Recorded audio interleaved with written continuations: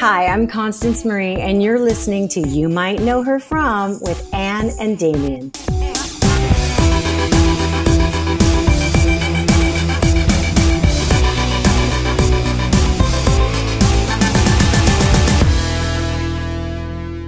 Well, help. no, no, no. Let's use it. Let me use it. Let me use Yeah, it. I, wish that you could see. I wish our listeners could see your fucking face. First of all, you have lanolin on your lips and they're popping like wild, and then you look like you had a stroke walking into the microphone. I was trying not to say like well hello. I was trying to say like welcome back, and then I was like, well, I think I did that already. So then it just turned into well. Welcome back to another episode of You Might Know Her From with us, Damian and Damian Ann. and Ann.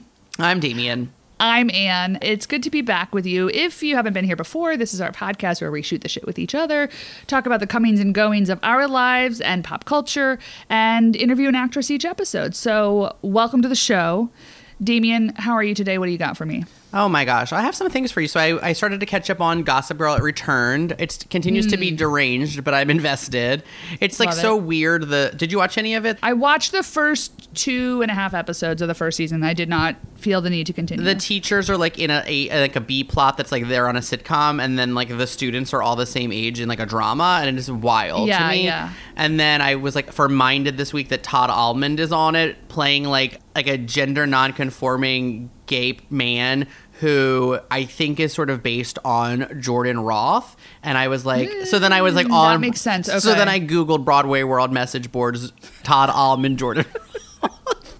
And people were Literally like, all roads lead back to the Broadway World message boards. It's true. Uh, Um, let, us be transparent. We already recorded one whole intro that it is about a Broadway World Message Boards.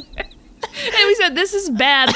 Let's do it again. And then here we are back again, back, back, back again. Take me to those Broadway World message boards. Um, and it just made me laugh because like the Broadway World message board people are just so vicious. Like I don't have an account, and if I did, I would probably lie and say I didn't. But I don't have an account, but I do love to read them. Once a year, I revisit the the message boards about Toni Collette and Mandy Patinkin in that production of The Wild Ugh. Party, and it's like Divine. he like spit on her, and she filed a complaint, and then people are always defending Mandy Patinkin, which drives me bananas. You already know how I feel. That's why Jake Gyllenhaal is on my sh- shit list because I feel like he's Yep. like trying to do the same thing. I'm not into Totally. it. I'm not into being so method that you're awful. Absolutely Unless not. you're a woman, and then I'm a little more forgiving.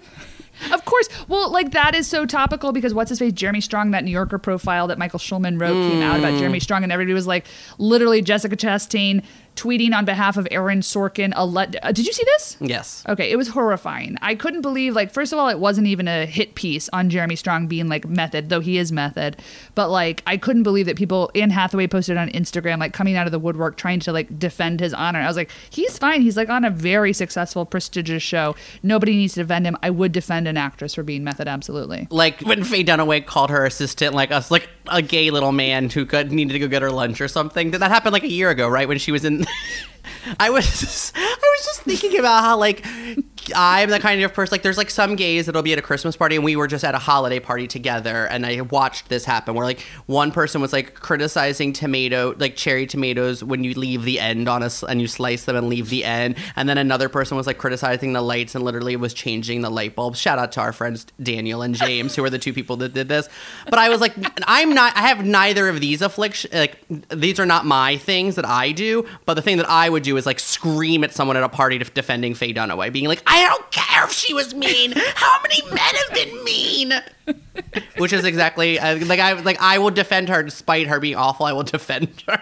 Correct. You're right. She has is, has terrible behavior on set, but it doesn't matter because like I'm sure Francis Ford Coppola is a dickhead. I'm sure that we know that Stanley Kubrick was a dickhead. Like people terrorized women on sets for years. She can throw something at her assistant. It's fine. She can change. She can change what the best picture winner is and act like it was Warren Beatty's fault for all I care. that was the great. Can I? Okay, so I'm going to share something, and you're going to tell me if we needed to edit it out. But we did Okay. communicate with Faye Dunaway's people for a while, and they did respond back to us. And the publicist was like, "She's never going to do this, lol." But thanks for asking. I really appreciated the LOL because it was like, oh, we didn't think that we were going to be in the universe where Faye Dunaway was going to say yes, but then you were entertaining it. But then the LOL really put us in our place, and I was like, good for you, really well played. It was like beautiful, like pitch for or like like lovely, like love the idea of the podcast. She'll never do it, lol. But like that, like, like good luck. And I was like, oh, I appreciate you responding. Shout out to that person. Hopefully, they still have a job working for her. You'd be surprised some of the responses we get sometimes it's literally like, how many more questions do you have? It's like, sir, we asked you one single question. I forgot about that person. How many more questions are you going to ask me? I already said she'd do it. okay. Okay. Also, like I like when we have good relationships with people, and then they'll pitch someone, and they'll be like, "Do you want to interview Joe Smith, who's originating the role of Riff in the West Side Story revival on Broadway that no one wants to see?" And we're like, "Hello, we we only interview women and non-binary performers," and it's like, "Okay," and then they send us another man. oh, bless. This is the work that we do. This is our plight. This is our plight, but you know what? It's all worth it when we end up with a lovely interview like this week's. And you know what? We did get that from a publicist. Ashley, shout out to you. Thank you. Because yes. She understood the premise of the show and she was like, I have a great person for you. And that, of course, is this week's guest, Constance Marie. Oh, wow. Constance is like this sort of perfect mix of somebody that's in things from different eras of my mm. life that I love in a variety of ways. But also, we were talking earlier about, I think she's just so smart, so kind, so engaged about the work that she does, while also like taking the piss out of herself. Like, she doesn't take herself that seriously, but she's also really serious about the work. It's sort of my favorite combination of an actor to have on the show. She's been in so many huge projects that are important to us, and then it was exciting that she's working on the show that drops literally tomorrow with Love, the Amazon series that is this sort of sweet holiday story about a Latin family. And there's like a trans love story, there's a gay love story. Mark Indelicato, who we talked about a lot with previous guest Ana Ortiz, is also co starring. It's really delightful and kind of the perfect thing to binge when you're home with your family. Mm. So it really was just a perfect storm to get to talk with the great Constance Marie. We can't wait for you to hear it. You might know her from Selena, George Lopez, Undone, My Family, Mi Familia, American Family, Switched at Birth, Law and Order, True Crime, The Menendez Murders, and the new Amazon series With Love. Welcome back. We are here with actress and dancer Constance Marie. Constance, thank you so much for taking some time out today to be on You Might Know Her From. Very excited to be here okay, so the first thing we want to talk to you about is your new Amazon series, With Love, mm. created by One Day at a Time's Gloria Calderon Kellett, which premieres actually tomorrow. Yes. yes, it does. I'm so excited to talk about it. So each hour long episode takes place on a different holiday throughout the year and follows a family through the ups and downs of their love lives. Gloria has been like a buzzy go-to creator. Was she what drew you to this project, or like what was it that like got you involved? Well, I've been doing this for I don't know, 33 years, 35 years. We just we stopped counting after 30. And when I read this script, I've known Gloria and we always, you know, we're like, "Oh, we got to work together. We got to work together." But, you know, she's always on something and I'm always on something and so like ships passing in the night. But she's so well respected and so creative and so strong and so about representing Latinx people in in positive lights and in creative lights and like furthering just our stories and you know especially in this America America you know just kind of furthering all that along. And when I read the script for With Love it was so exciting to see a Latinx people in a rom-com it had never happened before. I mean, yes, you get the like one person in some movie or something, but this was like a whole family. And, you know, there was so much diverse representation. We have LGBTQIA plus, we've got Afro Latinos, we've got Latinos, we've got white people. It's awesome. Like we all mixed together like the melting pot we were supposed to be. It was funny and touching and thoughtful and then funny again. And the Latinos in the part uh, characters, these roles were in like, we made it to the upper middle class. I was mm. very, it was win, win, win. And I thought, oh my gosh, if I could be a part of this project, it would just be, it would be magic. Cause I, in my career, have been able to work on projects that I'm very proud of. And I feel like represent the Latinx community in a, in a, in a different way, in a positive way. And this does that. So, as you mentioned, this show features a predominantly Latinx cast, Mm-hmm. as well as a transgender and gay love stories, like separate but also both, which is very cool.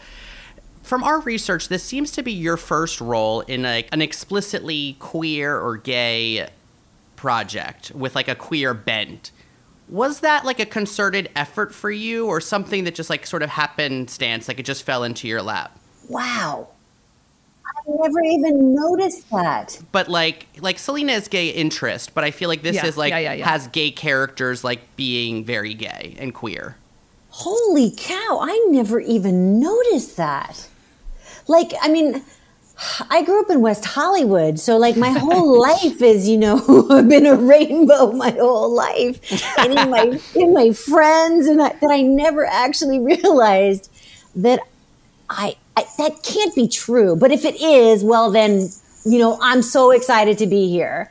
One of the things that you know, and, and it's across the board, is that the the gay characters, the the trans characters, and and the Latinx characters, they're not set up in some kind of trauma that somebody has to fix. They're not victims that need to be rescued. They're just people on their journey and everything is looked at. I mean, we've got some great scenes and I really wish I could tell you about them, but it's about challenging stereotypes that we're used to seeing and mm. and dealing with these LGBTQIA plus everybody. We got AAPI characters like they're not in traditional ways that you're used to seeing them. The storylines and the characters are approached with respect and with love, hence the name. Gloria Calderon Kellett is a genius when it comes to how she writes the characters because you've only seen the first episode and she touches the tip of the iceberg. It's like she just barely touches it in the first episode and then the second episode and third, and it really builds. And you're gonna, it's just wonderfully executed. So I'm very happy to be here in my very first LGBTQIA plus project. Okay, Constance. So as we were diving into your career, one of the things we were so obsessed to find is that you got your start as a break dancer under the stage name Speedy and appeared in music videos, pop and locking for Prince, Belinda Carlisle, eventually touring as a dancer in David Bowie's 1987 Glass Spider tour, also with Peter Frampton. Which, by the way, that tour was choreographed by Toni Basil, the legend herself. So, mm. can you just walk us through what was that audition process like for the David Bowie tour in particular? Can I just say, how do you know my street name? Have I ever said that in an interview? You're good. We dive deep. We dive oh deep. Oh my gosh. Yes, I did tag that name on a wall in a dark alley. well, basically, I grew up in a wonderful time when if you didn't have the money for dance lessons and you couldn't study legitly, you could learn to do this breakdancing, hip hop, locking, just street dancing, and you learned it at all the underground clubs. And everybody had their own style. Like I was in Prince videos and Cher videos, and you know, they would basically just go down to the clubs, the choreographers, Toni Basil, and she would find the dancers that were the style that would fit the style of the video, whatever they were choreographing. And we would literally have our little tape at the audition and pop it in our boombox and just go, you know, because no, there was no hip hop classes then. We were the only ones who knew how to do it. And so they would just take us and if it fit then they would try to try to choreograph us together be part of the video and um, tony knew of me from this underground club called the rhythm lounge because you know the clubs used to move around every night. And um, she asked me if i wanted to audition for something and i thought oh sure. Is my rent still due? Yeah i'll audition. And i didn't know what it was for. Part of the audition was acting because I didn't know this at the time, but David does everything on a very um, theatrical scale. David Bowie. So we did our little dance thing that I was used to, but then we had to do all these exercises where we would take a pillow and a blanket and like fall asleep on the wall, and we would, you know, she would describe you as a character, and you'd have to become that character and improv as, as that character. I, I, there were so many people auditioning, and I can't believe it that I got it out of all those, you know, because I did not have a degree in dance. I didn't have any of that. And I went from working at a 50s diner in a crack neighborhood in Hollywood, living in a single apartment, to traveling around the world first class on a private jet with David Bowie and Peter Frampton. that'll change you, girl. You know, and this was pre internet. that means I couldn't even Google any of the European places that we went to. So it was a long shot, and I was so blessed to have it. And I, I bless David and Toni every day because they changed my life. Is there anything you can share with us, like the most wild or like decadent thing you got to witness or partake in while you were on that adventure? Oh God, the list is kind of long. Um, we'll take one. We'll take one. well, I have a surreal moment. Oh, God, there's so many. Uh, one of the most obs- just obscure ones is well, there's another one right there. If I think about it, it's like, do you want to hear about Peter Frampton, Bono, or Princess Diana? I'm most interested in Princess Diana. Okay, Princess Diana, one of the most grounded people I've ever met. So I did a dance number. It was this new kind of dance where I would get in a pair of skis and they would turn the torque up so high that no matter what I did, I never popped out of the skis. And there used to be this great Canadian avant garde dance troupe called La La La, Human Steps. And they did this thing that I, Toni Basil, choreographed me to do. I would get in the boots and I would, like a worm, go like this. And it was this weird skill set of having like really flexible calves that you could almost lay down with your feet Oh in the skis. And David Bowie would push me like from far away, like it was almost like he was pushing me away, and we would do this kind of dance like that. And Peter Frampton would sing. Uh, it was his solo song. And so, anyway, I got injured because we were performing outside in Ireland, and my ski slipped to the side, and I didn't pop out, but it hit my shin and my calf pretty badly. But you know, you're on a world tour, and you can't really sit that one out. Otherwise, that song disappears from the song list. So I had this numbing spray. And when we got to London, David was all stressed out. He was like, I got five street dancers and I got to teach them how to behave with the princess. Okay. And he was such a lovely human that he wanted us to meet the princess. It wasn't just him. He, he wanted her to meet everybody. And so she came back in her little hot pink leather suit. So cute. And I was holding that numbing spray that I had to spray on my knee to, and my let my shin to keep doing the show. You know, we were supposed to call her Marm and curtsy and all this stuff. And then uh, she takes the numbing spray out of my hand that I'm holding and goes, What is this? Mouth spray? And I am not going to let me be the one who numbs the princess's tongue or she sprays it in her face. So I snatch it from her hand and then I push her on the shoulder and go, Silly, this is numbing spray. I flicked the princess and everybody lo- they- you could just feel the pause and she starts laughing and was like oh thank you so much and she didn't even flinch she was wonderful but of course i heard about it later like what are you doing touching the princess and i was like but she was fine with it i didn't want her to spray her tongue Number She thought it was face. Banaka. i mean really it was a lose-lose situation for me Right. Yeah, Right. yeah, right, yeah. right. Right. Right. well that's my princess diana story Oh, that's good. and no secret service or anybody took me down either that was awesome Well done. Well done. Do you have like permanent injuries from that? That sounds awful. Like scar tissue. Yeah, where do I start? Yes, I have. Okay. Not from that thing only. I mean, you know, the whole spinning on your head thing tears your hair off, and you don't want to do that. I mean, originally, none of us were taught how to do this to protect our bodies. I mean, I danced on cardboard in Venice Beach for change, you know, passing the hat to. You just did what you had to do, and you know, you're young. You're like 18. Yeah. You're, you're you're you're impervious to any pain, and now I'm 56. I'm like, what was I doing? Yeah. Yeah. Okay, so Constance, one of your most memorable roles is, of course, as Selena's mother in the mm. 1997 biopic Selena, co-starring Jennifer Lopez, Lupe Ontiveros, and Edward James Olmos. Your portrayal of Marcella and her memorable hair are downright iconic, truly. this was a huge buzzy film. It was a, only a year after she passed away. Yeah. Can you talk to us about how grueling that audition process was to get that role?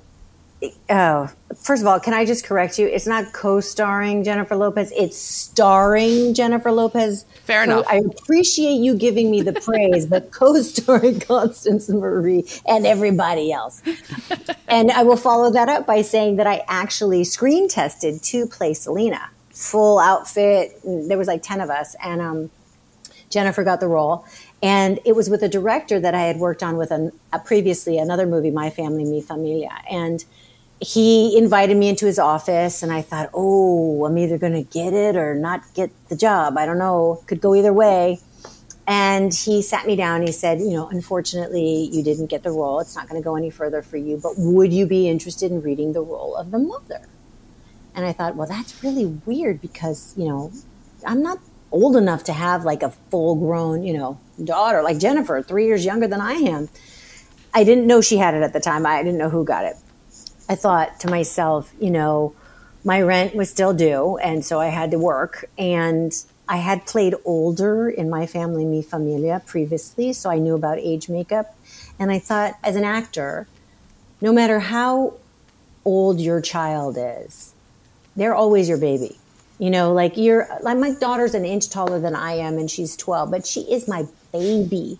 So I thought if I could just, you know, wrap my mind around that, I wasn't even a mother yet myself, then I could do it. And, you know, it was a two and a half hour age, aging process with makeup and those wigs that mm. actually Marcella Quintanilla gave us a little lock of her hair so we could match it exactly.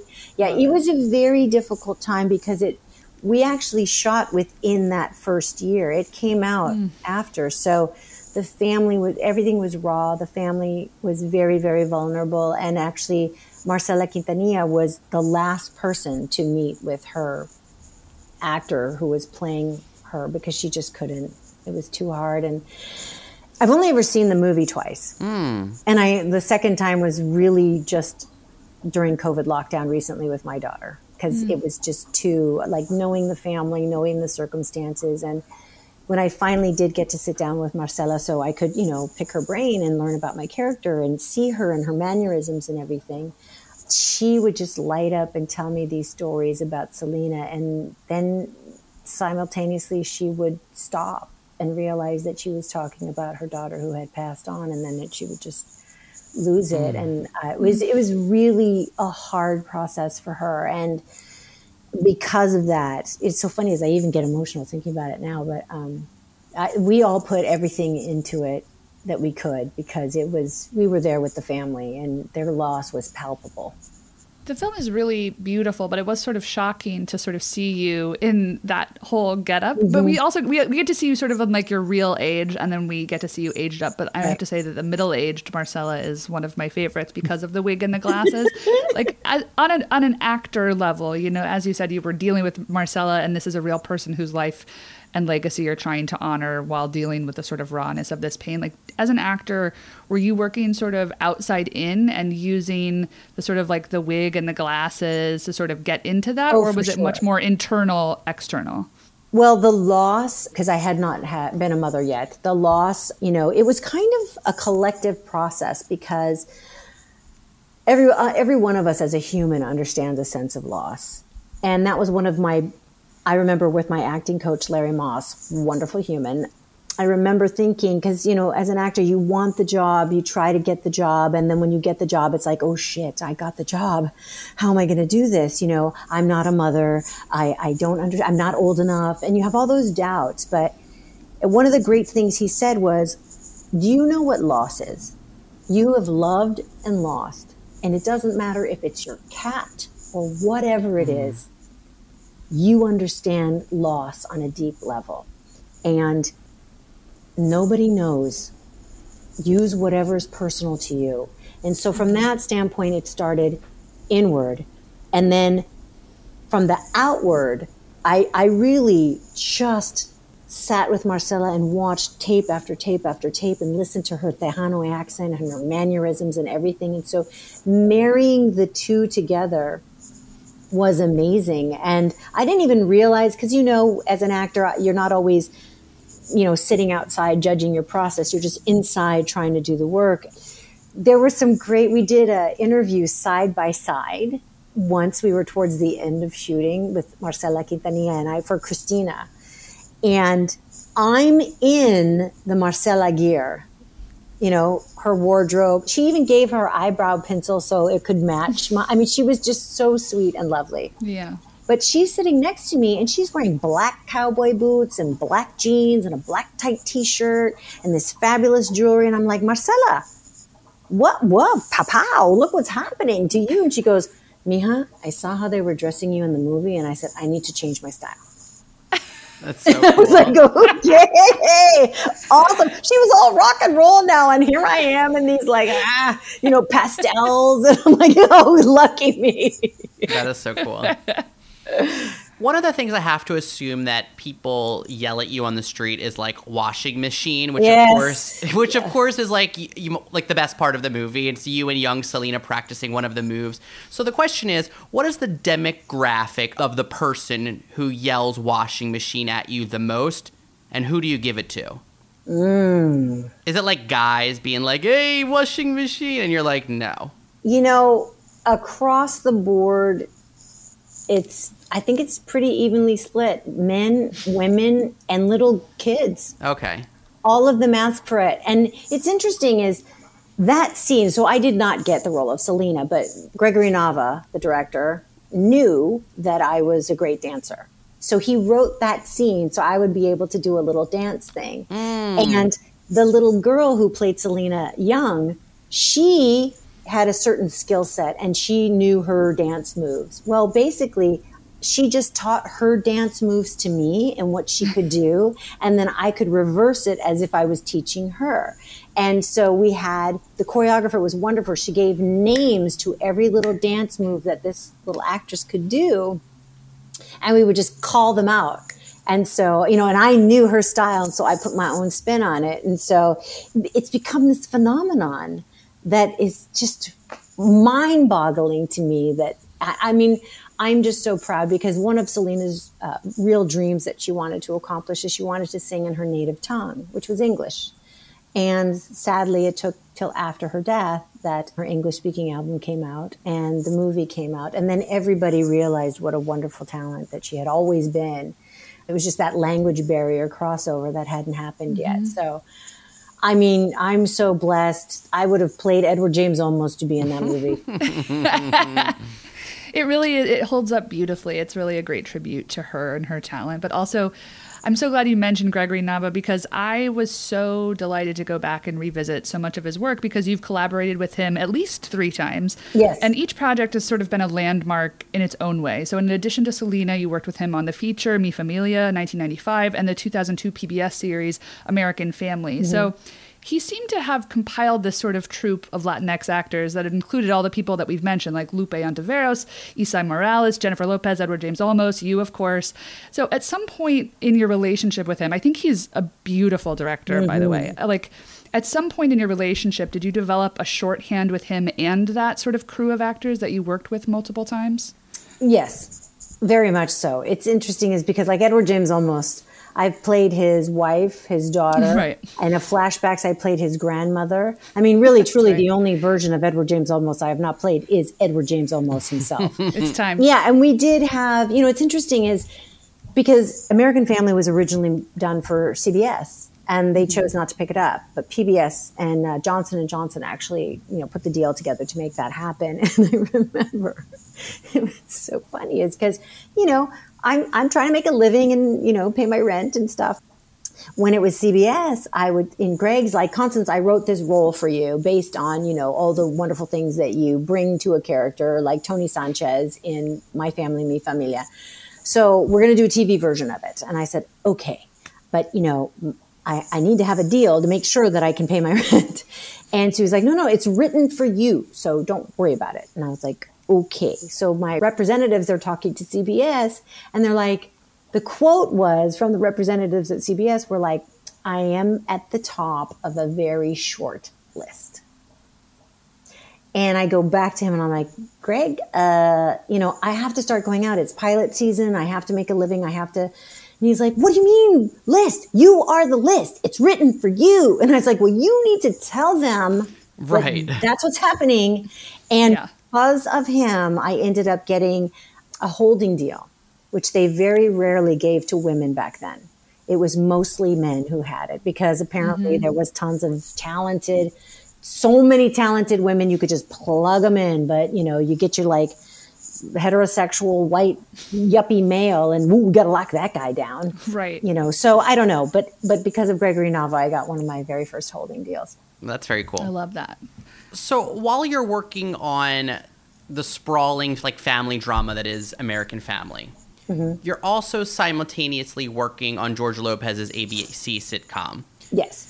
Can you talk about what it was like to juggle those two roles? One that had like gravitas, and then the one that was a very traditional three camera family sitcom. Like, was that a difficult thing to go back and forth between?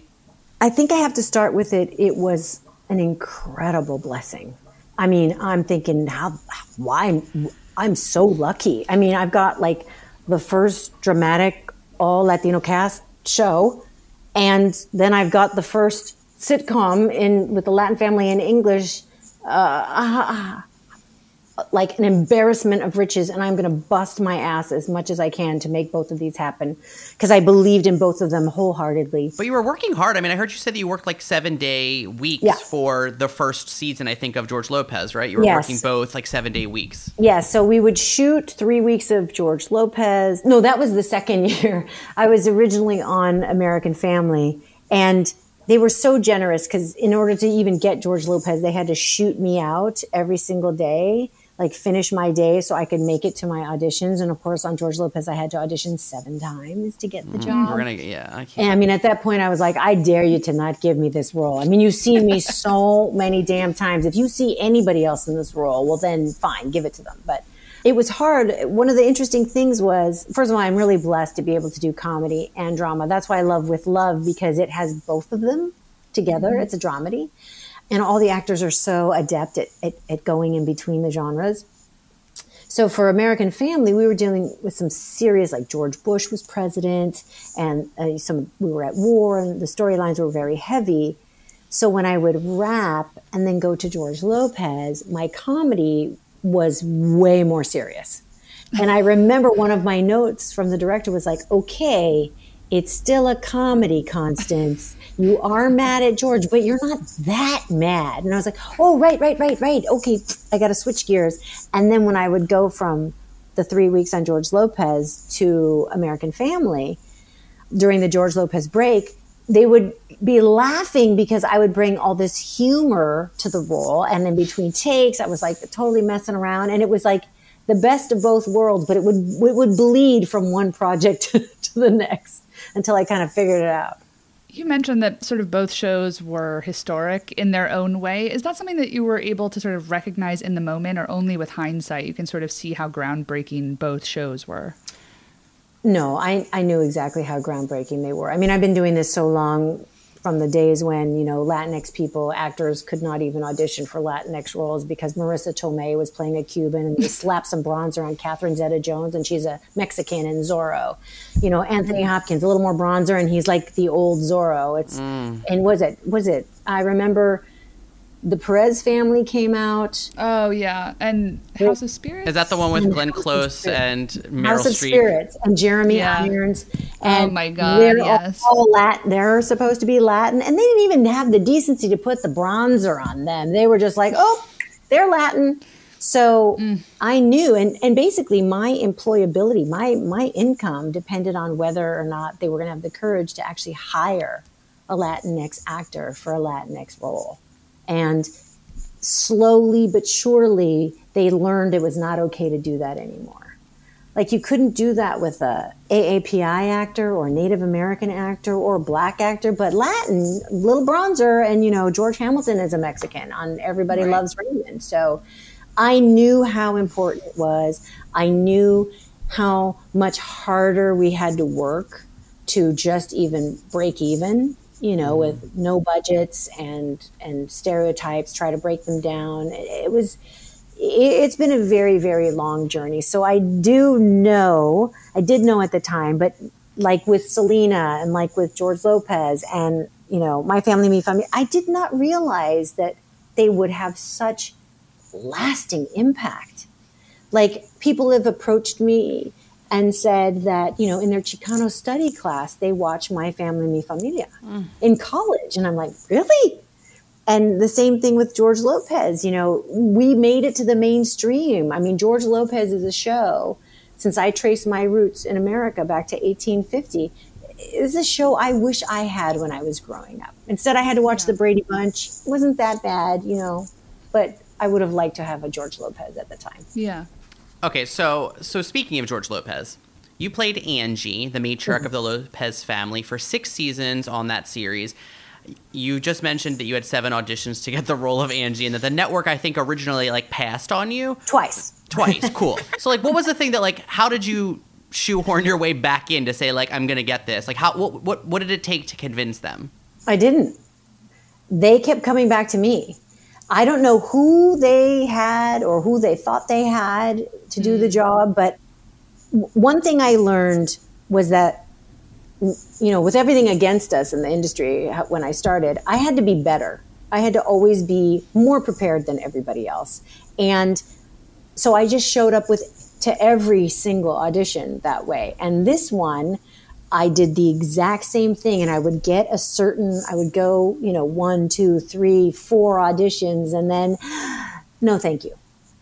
And okay, fine, fine, fine. But I knew I did the work. I knew I brought my A game, you know, and that's all I can do. In this business, you'll go crazy if you think that you can do more than your best. That's all you can do.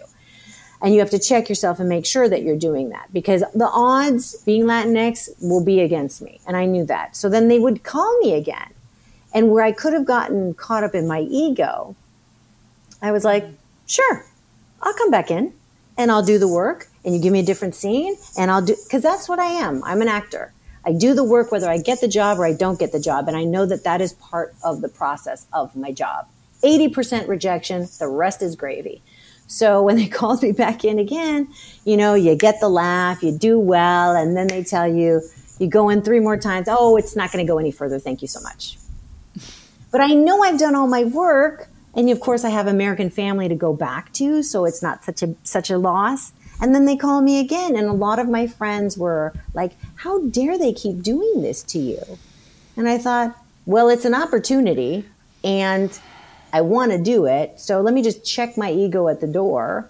And then I would go back again, and they would say, "Would you test?" Sure, I'll test. I ah, dare so you to to not give me this damn job. So I sign my contract, we make the deal, and then I test and no, thank you. It's not going to go any further with you. Okay. I go back to my other job. They call me again and say, would you screen test? And I think at this point, I really dare you.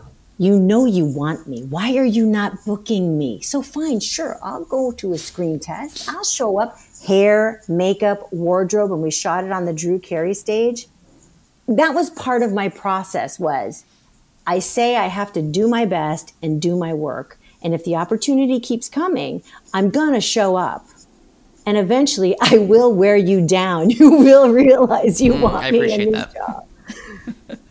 You were a series regular on the family soap Switched at Birth for five mm. seasons. And the mm-hmm. show follows, for our listeners, the show follows two teen girls who were literally mixed up at the hospital. One child is hearing, the other child is hard of hearing.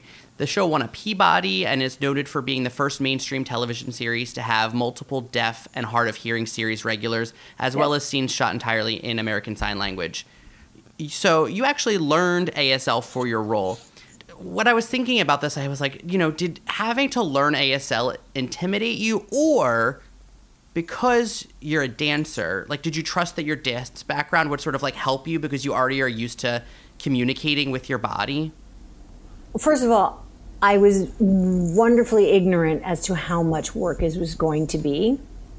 Plus, the director and the producers reassured me that you know they would cut away from me so I wouldn't have to do so much sign language because I was originally the first person cast because I needed the 3 weeks to learn sign mm. language, to look like I had done it for 12 years.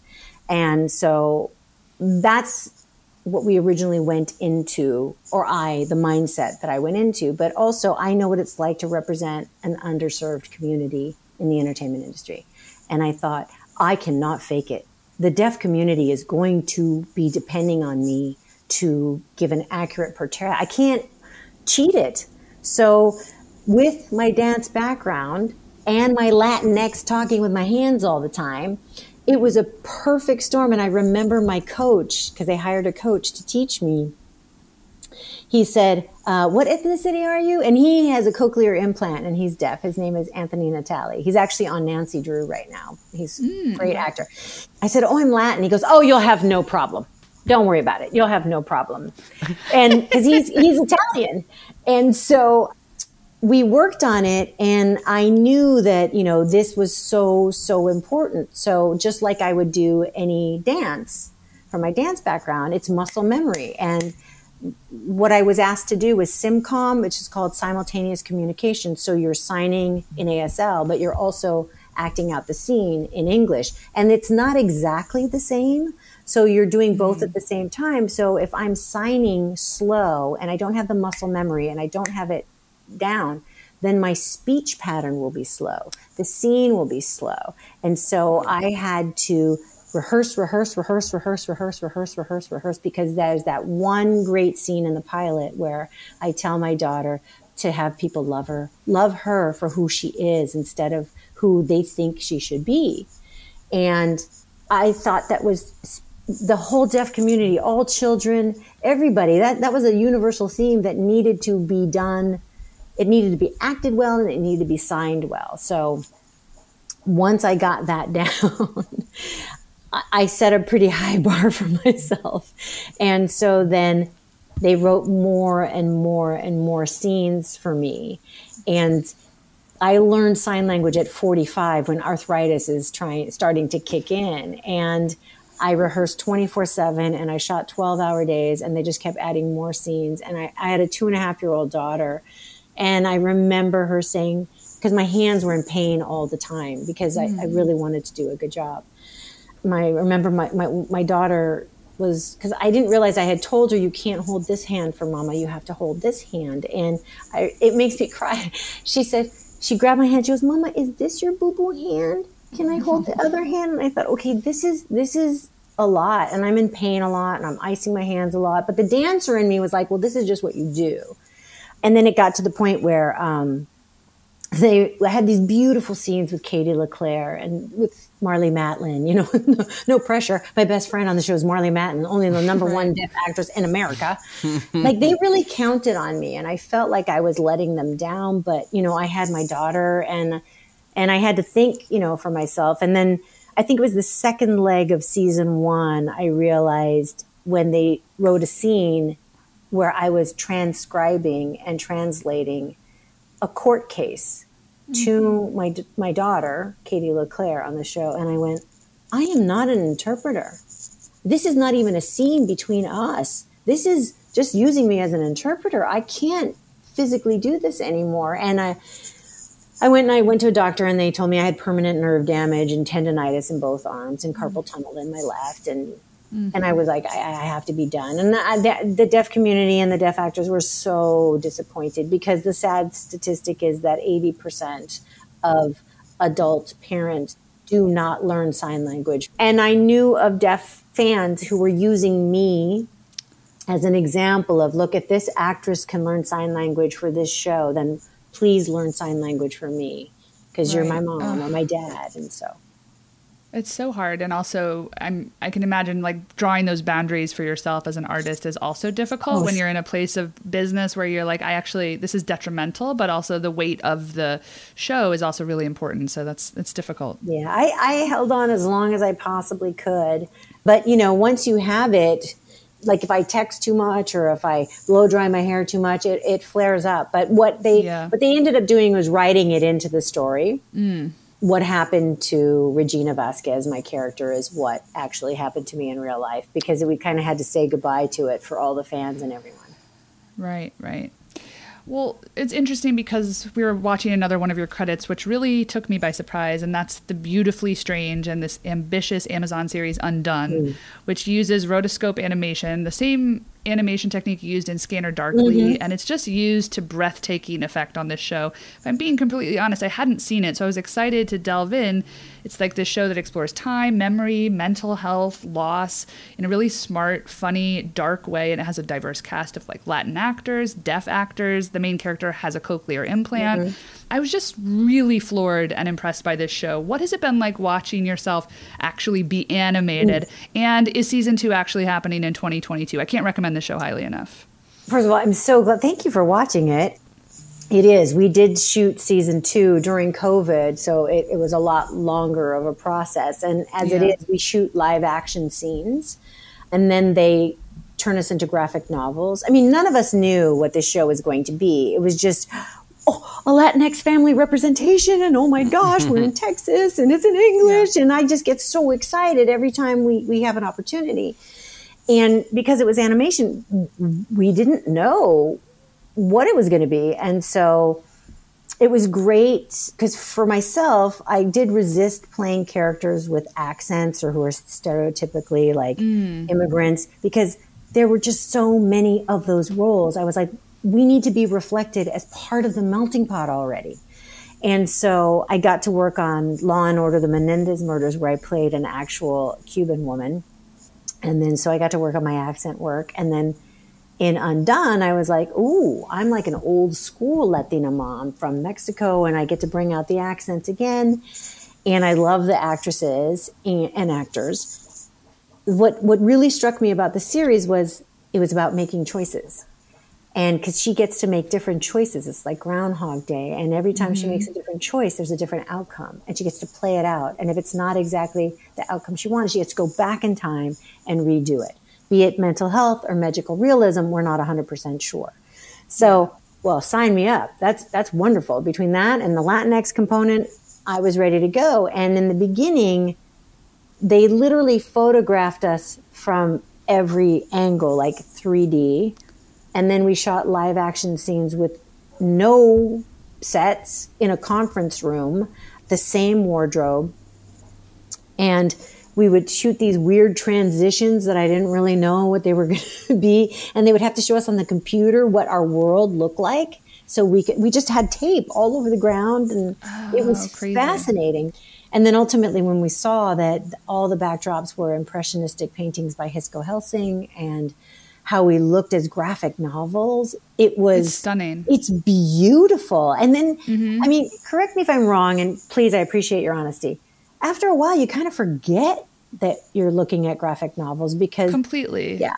It, it also didn't, you know, I was sort of like, what is this going to be? I read about it before I watched the first episode and I was like, oh, okay. It was very different than what I was expecting. And mm-hmm. then it does, it sort of, you don't think that you're watching animation. It feels hyper real in mm-hmm. some respect, but the, the color, the tone, the texture of all of it, I think actually adds to the emotional heart of the piece in some way. Yes. It doesn't feel like you're adding something on that is unnecessary or extraneous. It's really, I think it works beautifully with the material. Oh, I, I, I'm so glad that you feel that way because I forget that I'm watching it, that it's an, like we're graphic novels. I forget. And I don't know if that's just because I'm so close to the material.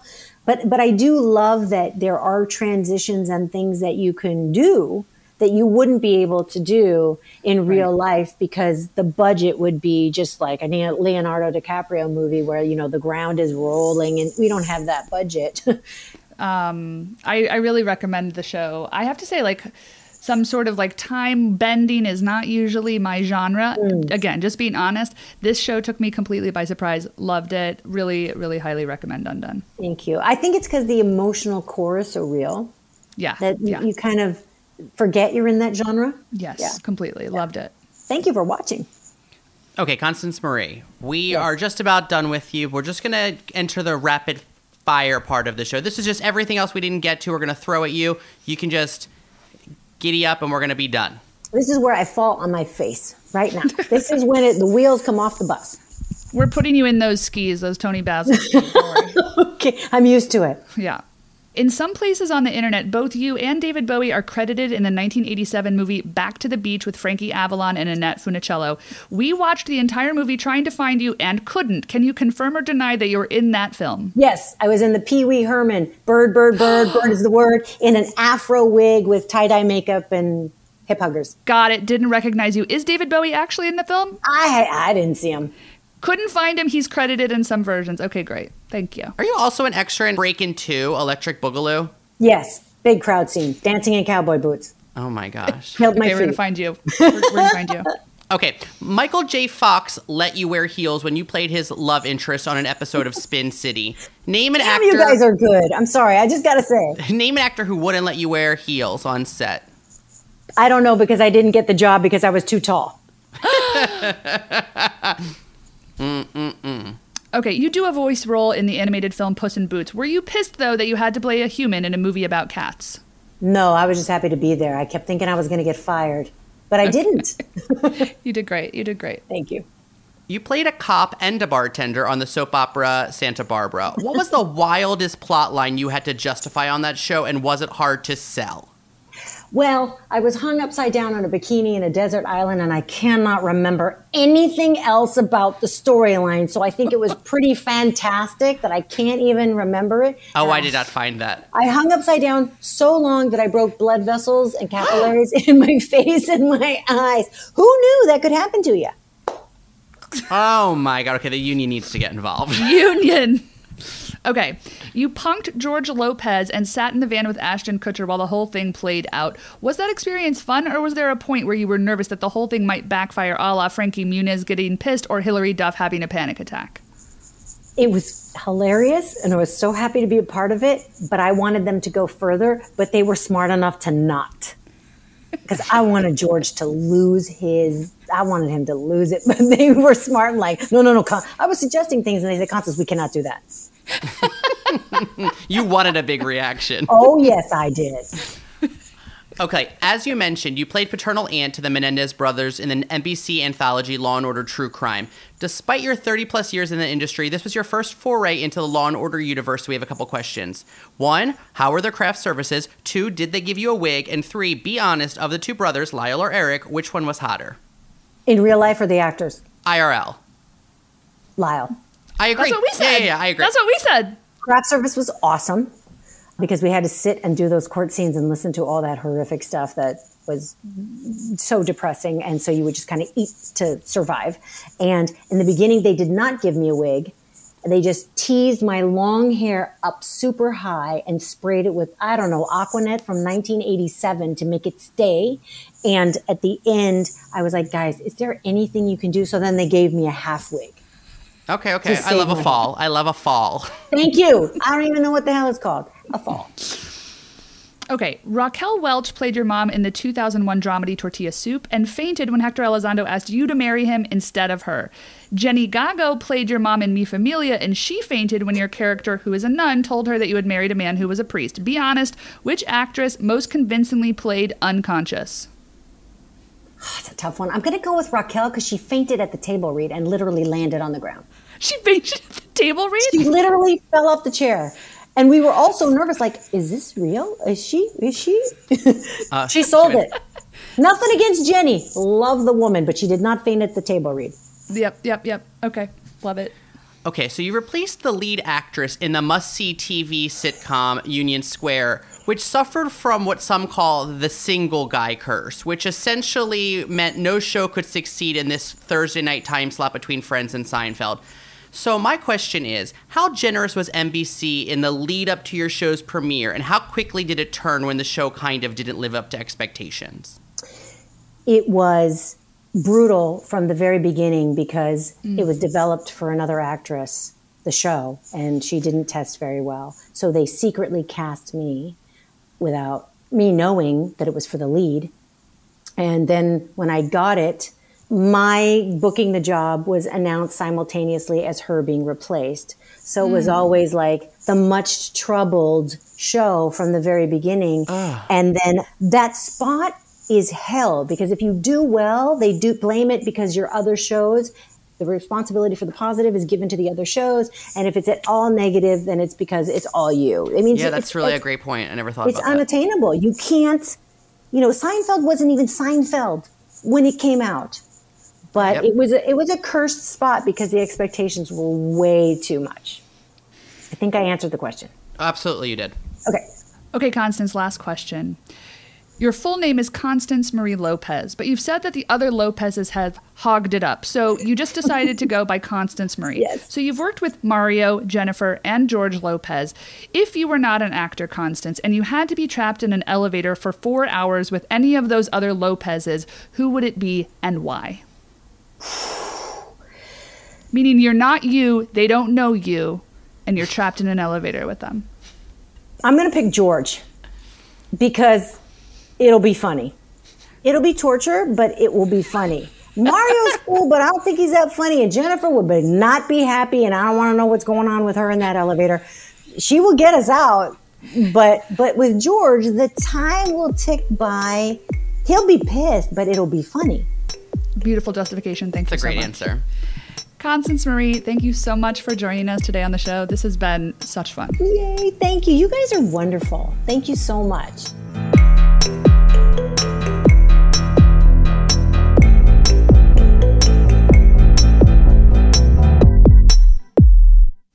Holy shit. Stop what you're doing, go to the show notes, click on motherfucking Constance Marie in those skis with David Bowie. It is physically outrageous. I kind of was trying to imagine it in my head as she was talking about it, and then I was like, let me just fill it in. Let me just fill it in afterwards.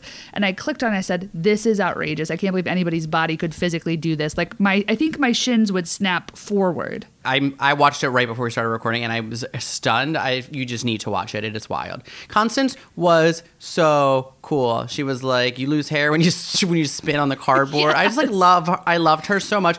Please watch her show. I'm very excited to watch it with my mom over the holiday. We are going to binge it. Constance did tell us that if you can't watch it right away, you can add it to your watch list, and that helps them count as like a I don't know, like a Nielsen rating, I guess in in Amazon Prime world. So do that so that the show is a success because I was very charmed by the first episode and I'm look very much looking forward to finishing it. And also like her journey with ASL was like Oh my God, heartbreaking but also very cool that one very cool that she took it and because of course my first thought was like that is so scary and she was like I guess I was just naive but then literally not being able to do it then anymore it's like it's, it's beyond Right. And having to sort of stand up for yourself in your workplace is always kind of difficult. and all of this and also she was in Selena which is just like so cool and such like a, a, a seminal film right Yes. Well, I'm not going to say seminal because it's related to semen, but I will say that it's very important. I also was very tickled by the fact that, you know, we try to walk a fine line on this show of taste, and sometimes it's difficult because when we watched the Menendez brothers, Law and Order, we were like, look, here's what we want to talk about because you and I talk about the Menendez brothers like two to three times a year regularly for the 11 years that we've been in close contact. She had an answer right away. She said, in real life or the actors? And I think she had an answer for both. And we should have asked about the actors as well. she was like, right away, Lyle. And we are like, absolutely. She was so game. I loved her. And I, I it was such a pleasure to go back and watch her work because she's done so much good work. Folks, we hope you enjoyed this interview with Constance Marie. And if you did, we hope that you'll share it, like it, share it with your friends. Make sure you're subscribed and locked into You Might Know Her from wherever you listen to your podcast. And while you're there, please leave us a written review. It is the best thing that you can do to help us keep doing the thing that we are doing. If you leave a review and you send us a proof of it, I will send you a copy of Leah Remini's book. It is excellent. We need reviews. Hmm. So do us a favor and we will scratch your back with a copy of Leah Remini's book, The Taking Down Scientology. I love her so much. So, if you know the show, you know that this is the time where we would usually connect this week's guest to next week's guest. But as you know, we're going into the holiday season and into the new year. We're going to be dropping an episode next week on a different day than usual, and then we're going to take off until the new year. So, you will see us next week, and then you will see us back here in the same place the first week of January with an actress episode. But we thought it would be good to prime you for what we will be talking about next week. And of course, one of those things is going to be and just like that, which we hope you've already been watching. And if you haven't, please, dear God, catch up because there's much to discuss. Folks, please find us on social media. You want to see that video of Constance Marie in her ski boots? You want to see, I don't know, us talking about how they're fucking reviving Six Feet Under? Find us on social media. You can find me at Damian Bellino on all of the things, and that's Damian with an A. And you can find my co host here at Rodeman. That's R O D E M A N N E. Might Know Her From is produced by us. That's me, Ann Rodeman, and my best friend over here, Damian Bellino. We want to thank our tremendous consultants at Grumpy Entertainment. That's Jason Jude Hill and Daniel Sears. They're a pair of Oh, just delightful husbands that do incredible work for us. We are so appreciative of all of the stunning work they do on our behalf, so thank you to them. And if you are a fan of the editing on this show, which why wouldn't you be, it is courtesy of the great Daniel Sears. We also want to thank Gang. Gang is three fourth women, Gang is from Philly, and Gang provides all of the music underscoring each and every episode of You Might Know Her From. You can download and stream Gang wherever you listen to your music. You want to find that thread about Broadway World people talking about Mandy Patinkin spitting in Toni Collette's face? You want to see that video of Constance again dancing? You know what you're going to do? You're going to go to the show notes, right, Anne? And that's where Anne compiles all of these special little treats for you. They live underneath the episode description and they're there just for you. But the question really does remain do you think that Jordan Roth is flattered or do you think he's insulted? I honestly didn't make that connection, and I don't know how I didn't, but I want to say that I think he's flattered because he works like in media and theater, so I feel like there's like no bad publicity. But like, did they ask him? Uh, we'll got to post it on Broadway World and see. I have to say that the teachers in that show are played by somebody that I went to college with, so it's like they are geriatric at 38. I love it so much.